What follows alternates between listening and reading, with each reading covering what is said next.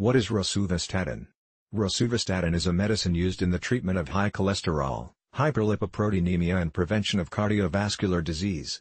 The trade name of rosuvastatin is Crestor. Mechanism of action of rosuvastatin. It increases the number of hepatic LDL receptors on the cell surface, increases the absorption and catabolism of LDL and inhibits the hepatic synthesis of VLDL, thus reducing the total number of VLDL and LDL particles. Indications, uses and benefits of rosuvastatin. Adults, adolescents and children over 6 years of age with primary hypercholesterolemia, familial heterozygous hypercholesterolemia, or mixed dyslipidemia.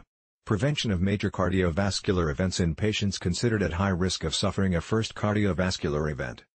Dosage of rosuvastatin. Oral. Before starting treatment, standard diet to reduce cholesterol levels that will continue during treatment. Individualized dose. Treatment of hypercholesterolemia, initial 5 to 10 mg day, if necessary, after 4 weeks increase to 10 to 20 mg day, max 40 mg day. Children 6 to 17 years, stage, prevention of cardiovascular events, 20 mg day. Warnings and precautions with rosuvastatin. Moderate renal failure, history of liver disease and or excessive alcohol consumption, race, increased exposure in Asian origin. Monitor and suspend if serum transaminases exceed 3 times LSN. Risk of muscle disorders, myalgia, myopathy, watch for tenderness, muscle weakness or muscle cramps. Use contraceptive measures.